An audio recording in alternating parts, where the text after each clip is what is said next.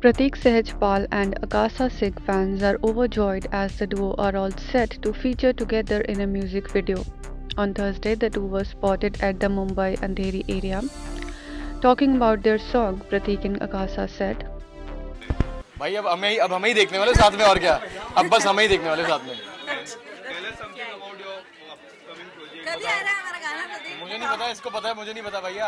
मैं तो खुद रोज फ़ोन करके पूछता हूँ कब आ रहा है। क्या कुछ आने वाला है? क्योंकि लोगों काफ़ी एक्साइटेड है आप दोनों को साथ में देखने के लिए।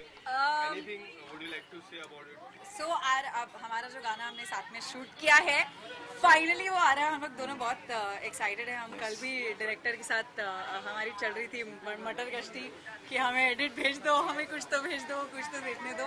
सो कितने दिन में और हमने तो थोड़ा बहुत देख लिया हाँ। है। अब आपकी बारी है। बस थोड़ा सब्र रखो।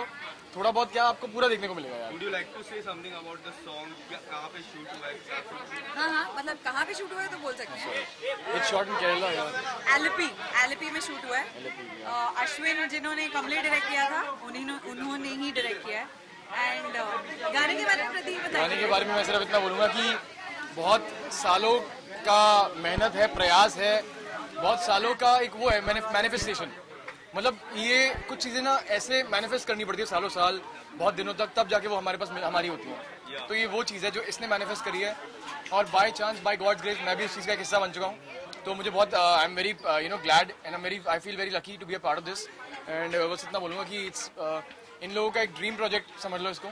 बेसिकली गाना दिवाली 2018 में बना था और बहुत अलग गाना है तो वो हम भी सोच रहे थे कब रिलीज़ होगा कब रिलीज़ होगा and I guess like he said लिखा हुआ था कि अ, अ, प्रतीक के साथ Pratik and Akasa met each other for the first time in Big Boss 15 and turned out to be really good friends.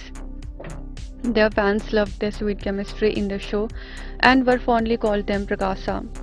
Though Akasa got evicted from the show quite early, she continued to support Pratik even after coming out of the BB house. In fact, Pratik was clicked with Akasa in her car after the grand finale of Big Boss 15, which led to the speculation if they were dating. The two also recently arrived at Shamita Shetty's party together. Prakasa fans are eagerly waiting for their music video. Ines report.